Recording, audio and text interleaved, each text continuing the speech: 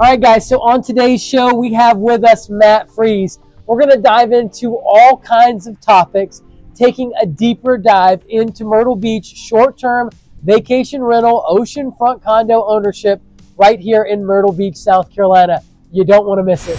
Right. Any other kind of crazy stories? Oh, yeah, I'm sure. Let's see. I, um, you, you know, I, uh,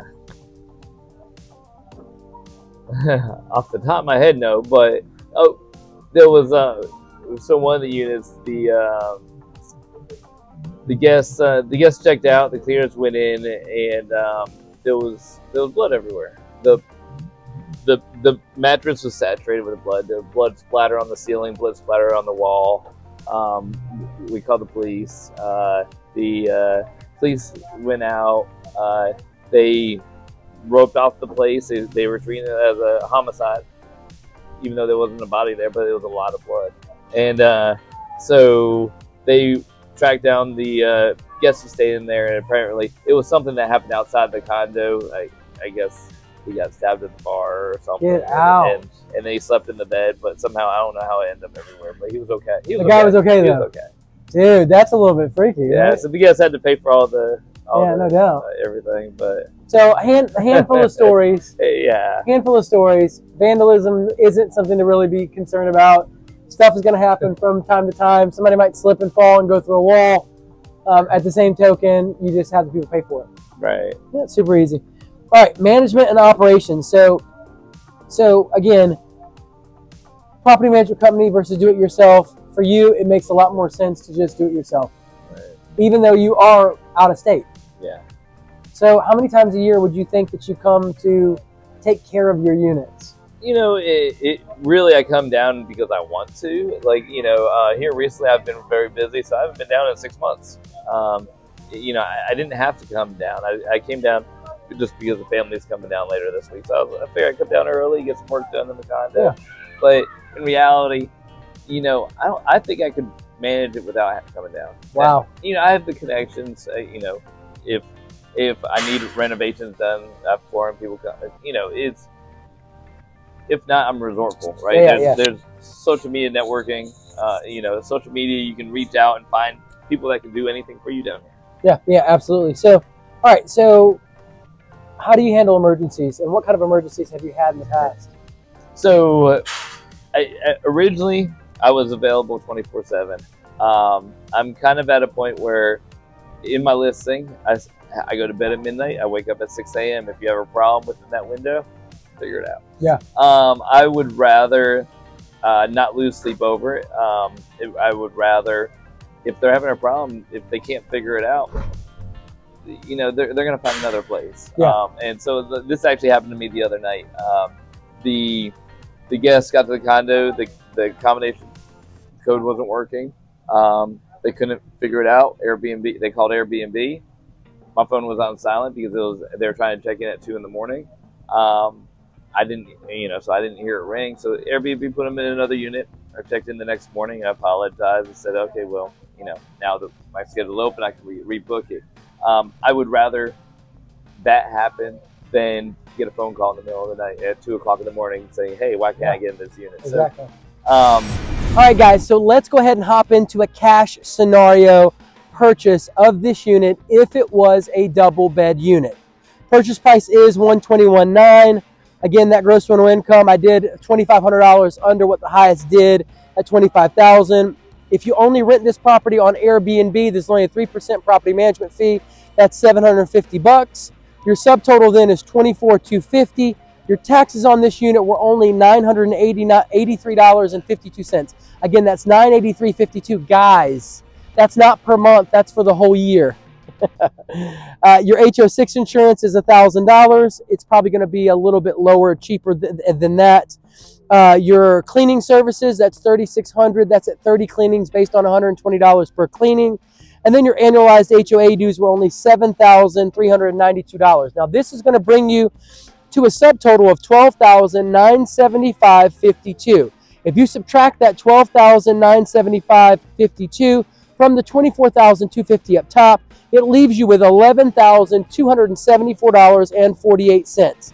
Now, uh, again, I want to throw out that, that there is a personal property tax you're going to have to pay on an investment property for your internal furnishings. It's marginal in my opinion, so I did not include it here. Um, electricity, internet, and pest control are included in the HOA fee. And I want to throw out that the AirDNA estimate estimated projected revenue was actually 35,800 with an occupancy rate of 43% for an average daily rent of $229. So guys, all in all, I think you can do very well with these properties. I think you can hit that $35,000 uh, mark. Absolutely. It, I mean, there are plenty of stellar oceanfront condo units in our market that are in the top 5% that absolutely crush those rental income numbers. Now let's get inside unit 917. All right, as soon as you walk in, you're gonna notice a beautiful barnyard door. They've done a great job finishing this place. Bathroom, as you can see. You've got your tub shower combo. We have a little storage closet right here upon entry. We've got a little nook right here, as you can see. Great place for a bar or a coffee maker. You come straight in. You have your kitchen to the left. You've got a bed and a sofa, chair, fireplace, and flat screen TV. And another little table here. This has all of your information. This is typical of how I see things done, guys, for Airbnb. That's what they do. There's a little welcome message. They've got on here the Wi-Fi password, uh, password, and all kinds of information. And it's it's well done. LVP flooring throughout, as you can see. Nice modern furniture. It is wonderful. I do want to give you a quick little zoom in of the, the kitchen area. This is everything that you need for a vacation stay. As you can see, little mini fridge, sink, microwave. You can come out on the balcony. And sure enough, you got a beautiful ocean view. There's the rest of your view. And now look down below us and you can see the cool lazy river.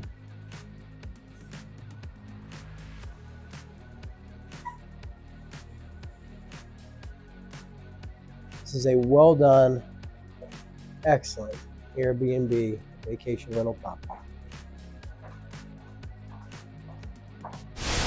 All right, so let's work through depreciation. Now this unit has a purchase price of 121.9 divided by 39 years for short-term rentals brings you to a taxable income deduction of $3,125.64. Now, guys, I want to throw out there that you can also do a cost segregation study for you high income earners. You could you could be writing up you know writing off up to uh, fifteen to thirty thousand dollars in a given year by doing a cost segregation study on your oceanfront condo purchase. So if you're interested in more information about that, give me a call. I'll be more than happy to get those questions answered for you. And finally, what you've been waiting for, guys, appreciation on these units. In 2014, if you would have purchased one of these efficiency units, on average, you would have paid $51,000. Now you fast forward to 2024, and that's $119,500. That's as much as $68,500 in appreciation, over 134%, guys. Come on let's get inside and check out the landmark water park they've got right here.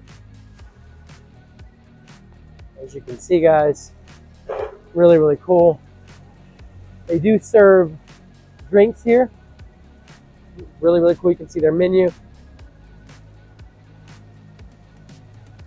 And as you can see here, they're having lots and lots of fun. And this is what you want to look for when you're investing in an oceanfront condo. You have to get great on-site amenities because that's what's going to create the demand for your unit. Now, of course, your unit has to be updated. It has to be modern. You got to meet a lot of criteria. But if you don't have the on-site amenities, well, families, the 20 to 22 million tourists that visit this market each year, they're not going to rent your unit. And this happens to be the landmark, one of the best as far as cost effective and uh, you know and extremely affordable uh, product offerings, if you want to call it that, on our market. You're not going to be able to really go anywhere and find an oceanfront condo that has these types of amenities and pay $121,000. Now that is a really cool bridge that goes from the parking deck. You can see there, there's the parking deck. It's going to go from the parking deck all the way across to the landmark. And that's the landmark right there across the street. So guys, this is an excellent value. It's probably one of the best values that you're going to find on the beach. Really quick, take a little detour over here. I don't want to get wet. As you can see, pretty, pretty cool, guys. Pretty cool. Click the screen now to see the next part of the interview with Matt Fries.